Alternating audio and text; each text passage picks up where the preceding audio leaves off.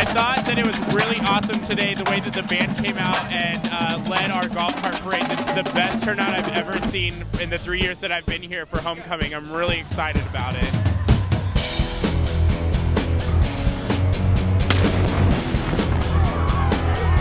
The golf cart parade is pretty good. I'm glad the weather turned out really nice. So we got a good showing and public, everybody around. Spirit's getting a little bit better this year. This is probably the third year we've done it. Um, with uh, Beta Theta Pi, supporting our philanthropy Heroes for Hope, where we uh, dress up like superheroes and go visit little kids in the hospital and give them toys and smiles.